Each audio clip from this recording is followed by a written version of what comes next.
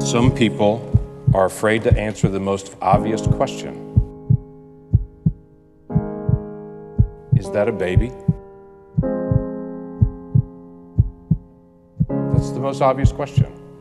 That face, that nose, those two eyes, that mouth, that chin, those fingers. Is that a baby? That's really the only question. Is that a child?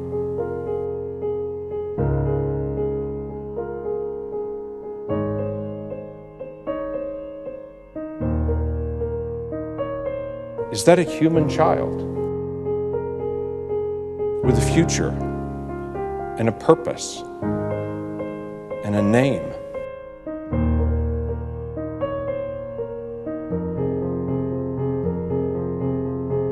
Does everyone in this room believe in the principle we should do unto others as we would want done unto us?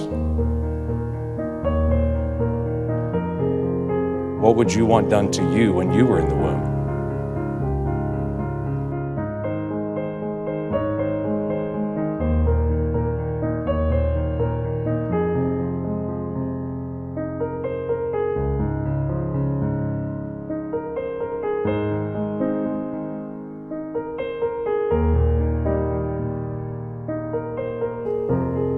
So let me ask a question again.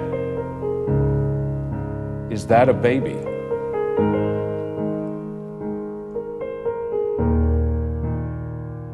Yes or no?